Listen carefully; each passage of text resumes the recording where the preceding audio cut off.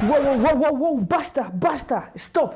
Demasiado, demasiados errores con los PowerPoints. ¡Uh! Hola oradores y futuros oradores, bienvenidos una vez más a mi canal, soy Fernando Miralles y hoy os traigo los cuatro errores más frecuentes que se hacen en los PowerPoints. Pero antes de empezar, si es la primera vez que ves uno de mis vídeos, no olvides suscribirte activando la campanita de notificaciones. De esta forma no te perderás ningún nuevo vídeo cada miércoles y domingo. Vamos ya con estos errores. En primer lugar, demasiado texto por diapositiva. Y más o menos sucede de la siguiente forma. Vamos a hacer una presentación sobre la oratoria. Definición. Veamos. Oratoria es el arte de...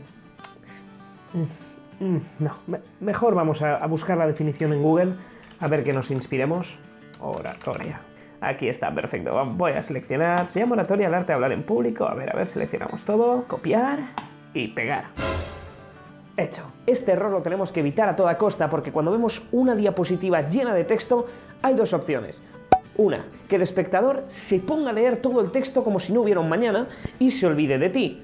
Y esto no interesa. O en segundo lugar, que directamente ni lea el PowerPoint ni te haga caso a ti porque se ha abrumado con toda la información que le estás mostrando. Lo mejor entonces es reducir muchísimo el texto a un máximo de una frase. En segundo lugar, utilizar tipografías inadecuadas a la situación. Ya sé que te encanta esa nueva tipografía que acaban de sacar, pero es que hay que utilizarla en un contexto apropiado. He visto una gran cantidad de presentaciones cuya tipografía no se adecuaba al contexto, y el símil era algo así. Tenemos que hacer el catálogo de funerarias Pedro, entonces voy a ponerle esa tipografía tan molona que acabo de descubrir. En ningún momento se te ocurriría hacer algo así, ¿verdad? Yo, yo confío en ti. El problema es que hay muchísima gente que hace algo similar con presentaciones profesionales, académicas, o en contextos serios. Utilizar, por ejemplo, las Sans, las Open Sans me parecen preciosas, Roboto, Lato, Montserrat, todas estas tipografías me parecen preciosas y muy adecuadas a cualquier tipo de contexto, ya sea profesional, académico o laboral. En tercer lugar, no utilizar imágenes con alta calidad. A ver,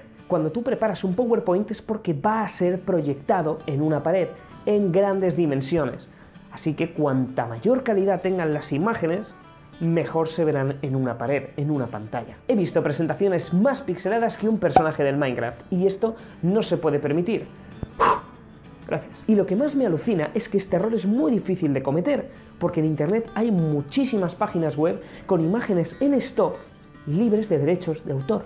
Las puedes utilizar para cualquier fin, ya sea comercial o no comercial. Por lo que cada vez que veo una imagen de baja calidad en una presentación o que aún tiene la marca de agua, Creo que la gente lo hace difícil, creo que lo buscan adrede, algo así. Vamos a buscar una buena playa tranquila, bonita, para hacer una definición de lo que es para nosotros el paraíso. Bien, ya estamos aquí, vamos a buscar playa. Perfecto. Y ahora vamos a buscar... Mm, no me gustan tan grandes, vamos a buscar una pequeña, al, al más puro estilo. Icono. Fantástico, esta me gusta, esta encaja con el perfil. Sí, ¿para qué poner esas tan despampanantes con tan buena calidad? Esta es buena, esto es el paraíso en alta definición. Y en cuarto lugar, y no por ello menos utilizado, porque esto es una barbaridad. ¡Uh! Alucinaríais la cantidad de veces que esto sucede en una presentación. Poco contraste entre el fondo y la letra. Vamos a ponerle texto a esta imagen, voy a ponerle busca tu paz interior, me parece algo muy representativo. Vamos a hacerlo más grande, eso es.